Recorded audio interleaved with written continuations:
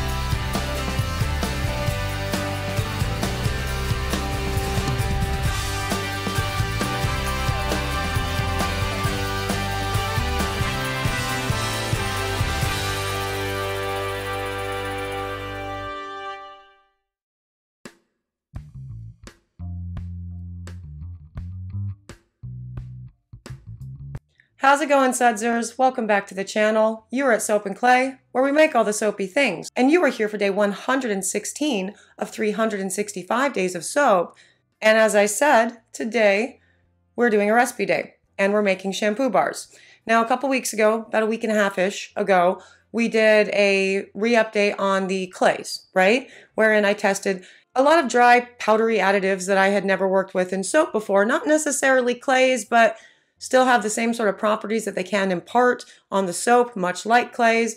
So we experimented, and a couple of those clays said that they were good for uh, hair, not only as a hair cleanser, but also as a natural conditioner. And I thought, what a great idea. Let's test them in shampoo.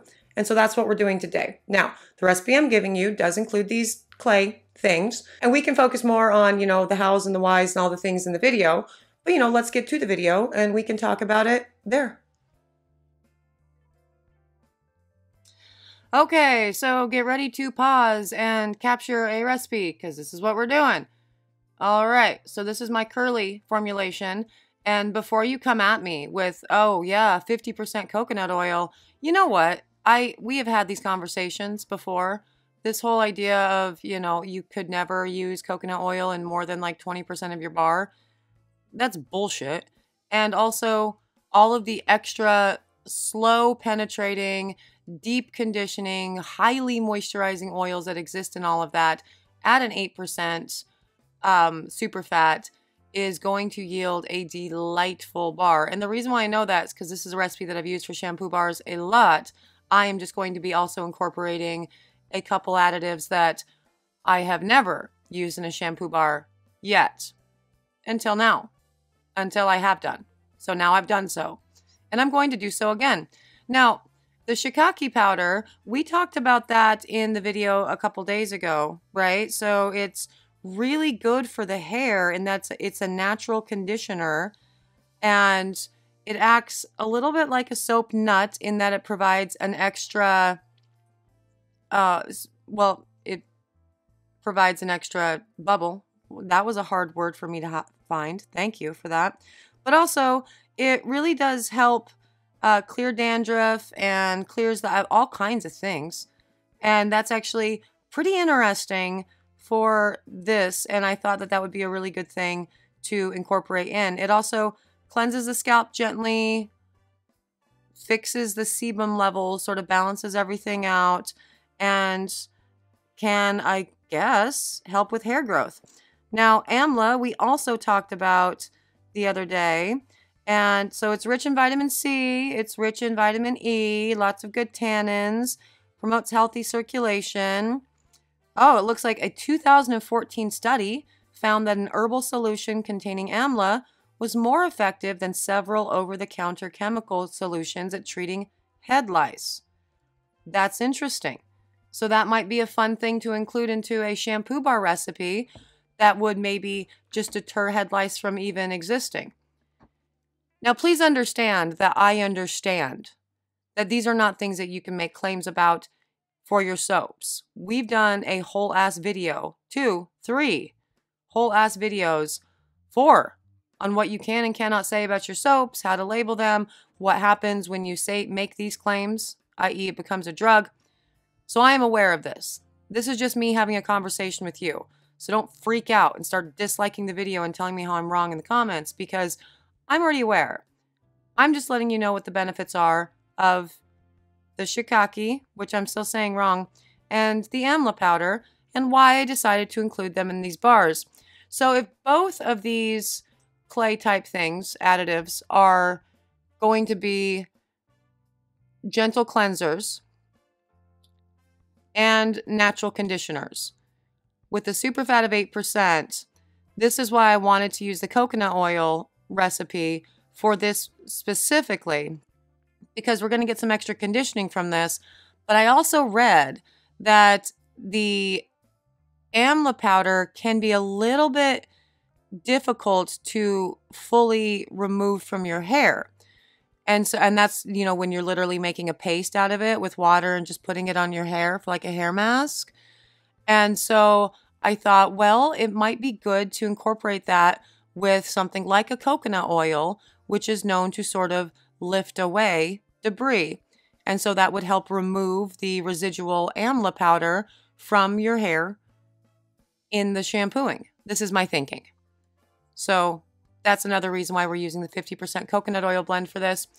Now, because this is such a simple recipe, well, shampoo bars in general, the recipe itself is not simple, um, but the actual making of something like a shampoo bar, once you've dialed in your recipe, it's easy peasy. There's not a lot going on. You mix everything up, you hit emulsion, you put in your additives. Now, the buckthorn I actually included in this as well because it is a hair softener, and this is my curly formulation. So, specifically, like textured hair, like uh, Soap and Clay Kidlet number one's hair. And I wanted to include some buckthorn powder to be a nice, um, well, hair softener, as well as it promotes hair growth. So, that's nice. I love that. And that's just the scent that's going in for that guy. So, yeah, that's a very easy peasy recipe blend for sure will make. And the recipe blend itself, it actually it's more complicated than anything I ever like to give you because there are so many oils in it. But the thing about shampoo bars is having made a lot of them over the years and spent like three years actually formulating my initial shampoo bars and having them tested by people, um, sometimes those recipes have to get a little complicated because you're dealing with a different pH, you're dealing with a different part of the body, and you're dealing with something that people really super care about. Not that they don't care about their skin, but hair. If you have a bad hair day, that's the worst ever. So, yeah, those those oils are all actually pretty important in this particular recipe. You can sub some of them out though. Now, like the argan can be substituted for more olive oil or maybe an apricot kernel oil.